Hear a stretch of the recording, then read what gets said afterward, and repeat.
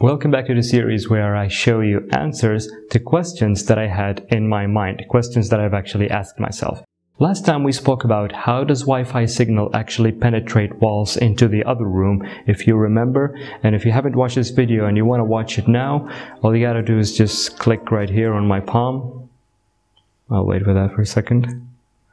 And for today we are going to talk about why does signal get really weaker when you are inside the elevator.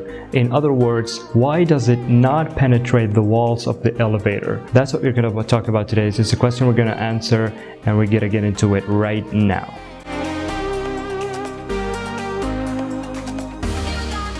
If you remember, cell phones use electromagnetic waves, radio waves to be particular.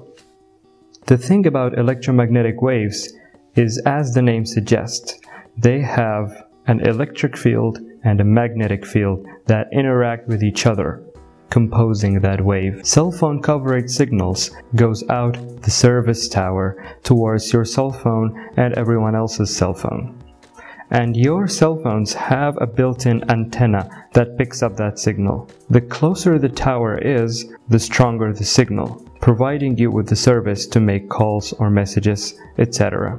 If the tower is pretty close, even when you are inside of the elevator, the signal should work just fine. However, these electromagnetic waves can experience barriers on their way to your phone besides distance. Though radio signals can penetrate brick walls like we explained on the last video, it becomes a slightly different case when it comes to elevator walls. The elevator box is made of metal and metal reflects away and absorbs signal, preventing them from entering towards your cell phone when the doors are closed, even though it's not completely.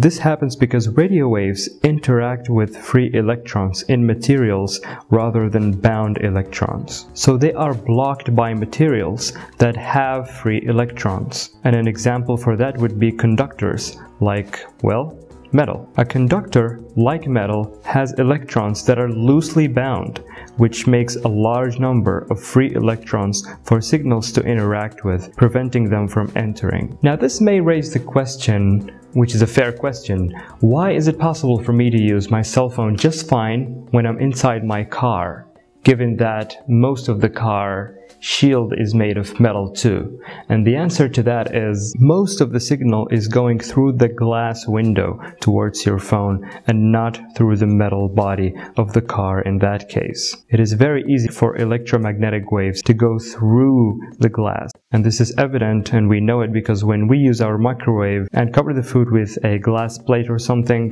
it still heats up just fine. So that's it for this video. I really hope you enjoyed and I hope you learned something new. If you have enjoyed, make sure to leave a like and subscribe to stay tuned for more videos like this or videos that are not like this because I make different types of videos. But I think I'm gonna make uh, a part three of this series. I'm not gonna spoil the surprise of what's it gonna be if you guys like videos like this and peace.